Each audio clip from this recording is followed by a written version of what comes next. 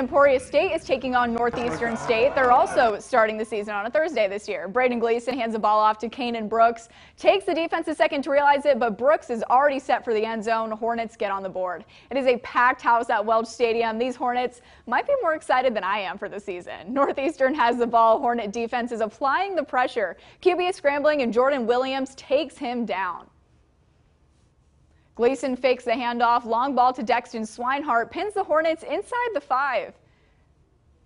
The ensuing snap is high. Gleason snags it, though. He has to take it to the end zone himself.